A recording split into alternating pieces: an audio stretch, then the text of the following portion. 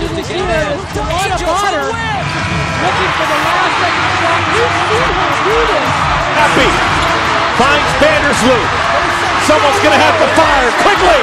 Got it! She hit it! Guarding. Just played against some boys, and she put in some work.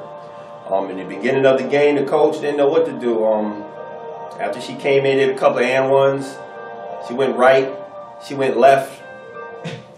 Because most players only can go right, left, but she went both ways on the coach, and he, he had no. She, she was the focal point. I put my best player on her. But um, right now, I'm gonna let her tell you a little bit about her. And um, right now, um, tell everybody your name. Ashante. Say it again. Ashante Lynch. Ashante Lynch. Well, where you representing? Kingston. Kinston. Kinston Ballers? Okay, you do big things. Um, what high school you at? Or middle school? High school? Continue Savannah. Savannah. And that's up in North Carolina too, right? Yes, sir. Okay. Oh, I was speaking to her earlier. She said uh, she's looking at what, ECU? ECU or Duke. Or Duke. So hey, ECU Duke, look out. Um, she's very, she got the fundamentals, and that's what we're missing nowadays. She does, does what needs to be done.